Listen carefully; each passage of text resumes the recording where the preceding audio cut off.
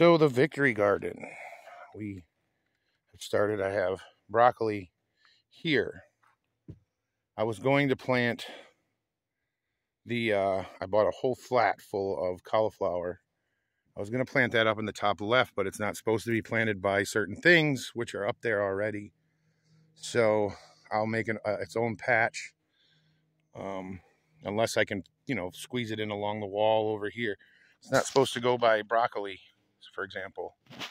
Uh, up the middle here, the stuff that looks like grass is corn that I started indoors. There's, I do believe, 24. On either side of that corn, I put pole beans. So by the time those sprout and actually start wanting to climb, they'll attach to the corn and climb the corn. It won't hurt the corn. Next to the corn, I have complementary plants.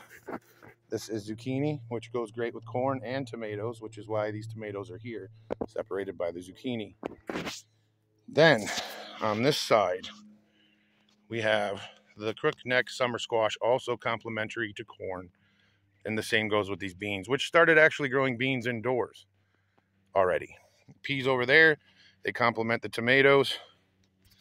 I think they do corn as well. Now, further away is my pumpkin patch, where I'm going to put more crookneck squash because that is also complementary to the pumpkins. So that's what we're doing there. Then I'll fence it off so the deer don't eat everything.